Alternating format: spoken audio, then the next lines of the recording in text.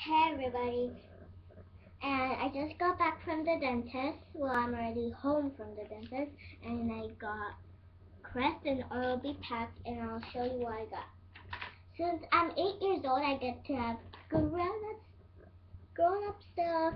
And I got a grown-up Oral-B toothpaste. I mean, tooth toothbrush. Salam.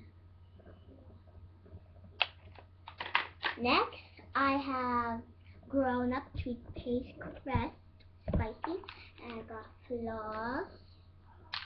I got a coupon. Got another coupon and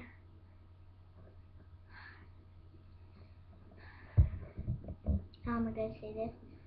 The time has come for me to have braces. Cause in my I'm gonna show you another video that to tell you why I need braces. But I'm going to show you what the coupon said. Okay, so this one is the N Essential Essential at Home routine. So it says brush, floss, and rinse. Brush twice a day, floss daily, last rinse twice a day. And this is floss allergy,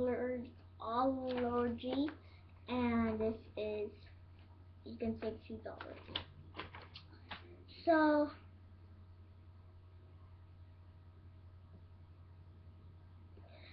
So if you don't brush twice a day only once, you'll get cavities. If you don't floss every day, you'll get plaque that can be cavities. I don't know about rinsing, but I guess rinse will help your teeth get strong. So it's much better to go to the dentist almost twice a year or once a year so you can get your teeth checked most of the time. For me, I do twice a year. If and comment down below when do you have braces or are you're going to have braces. And also, come and the question of the day is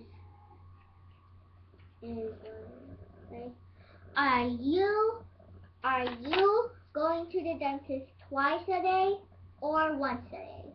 So comment down below because I have to go and I want to know. So the question of the day is are you going to the dentist twice a, a year or two or once a year? So bye. I guess I'll see you tomorrow or tonight.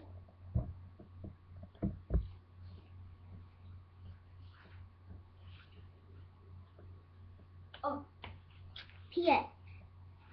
I want you to also comment down below if I should do shout outs. Bye.